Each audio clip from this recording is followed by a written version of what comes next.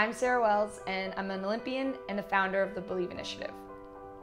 I started the Believe Initiative because I faced so many obstacles in my career, and I learned so many things on the other side of those obstacles.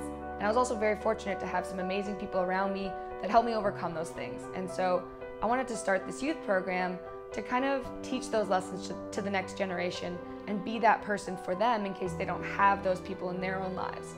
So fortunately, I've gone into schools now and spoke about my story and the importance of being resilient and the power of believing in yourself.